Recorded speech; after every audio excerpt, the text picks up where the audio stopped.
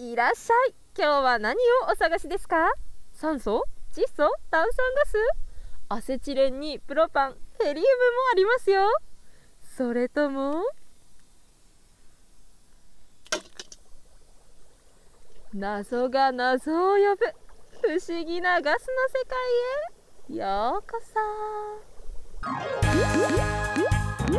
そ。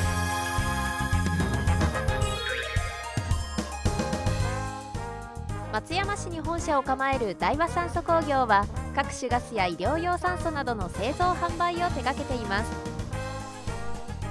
工場内に入ると本当にいろんな形状のボンベがありますね。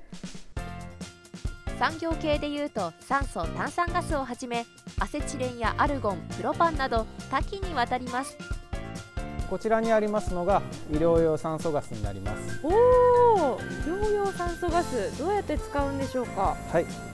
えーと、例えばこの小さな小型のボンベなんですけど、はい、えーと、患者さんが直接これを持ち歩いて酸素を吸ったりします。まさに命をつなぐ酸素他にも水素ガスは分析溶接などに消気ガスは麻酔薬窒素ガスは酸化防止用で食品の包装に使われたりします。あとこの窒素ガスは液体にすると、はい、ちょっと面白い使い方があるんですけど見てみますか。いいんですか？長これは何ですか？はいえっとこちらは液体窒素になります、うん、えっと主に冷却剤として使われていましてえっと温度はマイナス196度という超低温になります。血液や精子の凍結保存や体のイボ取りなどにも使われるそう。まずはバラを凍らせてみよう。お願いしますえ凍る時に泡が出るんですか？窒素がこう蒸発していってるんですね。へえわずか数秒で。いきますよ。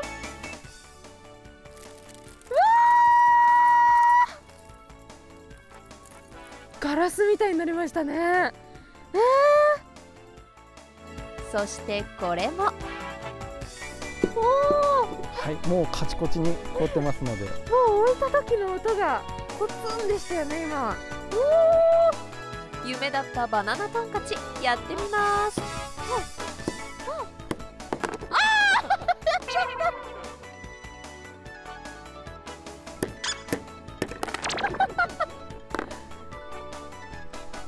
実験は以上になります。謎 町さて大和酸素工業は実は四国で唯一のドライアイスメーカーなんですドライアイスは二酸化炭素すなわち炭酸ガスを冷やして圧縮し固体にしたもの。マイナス79度の低温です。これも？これをドライアイスの上に置いてみてください。ほうフォークですか。はい。いきますよ。せーの。えすごい！何これえ？勝手に動くしこれはですねフォークで温められたドライアイスがその場で気化して炭酸ガスとなってこうフォークを押し上げて振動しています。へえ面白い。続いてはこちら。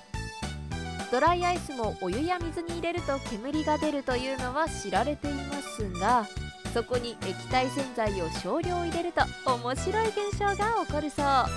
ドライアイスを入れるとおおモコモコモコモコなんか泡が出てきましたね。ええ止まんない止まんない。え生きてるみたい。これはドライアイスの煙を洗剤成分の海面活性剤が閉じ込め発生した煙は泡に包まれどんどん増えていくから。またドライアイスは汚れ落としにも力を発揮します。これはドライアイスのペレットを超高速で吹きつけることによって汚れの層を凍らせ気化する時の膨張を利用して汚れを弾くんです。いやドライアイスも奥が深いですね。大和酸素工業は各種ガスやドライアイスなどでがっちり。それ番組違いますから。謎待ち惜しい。それは夜待ち。何にせよ謎待ち。また来週。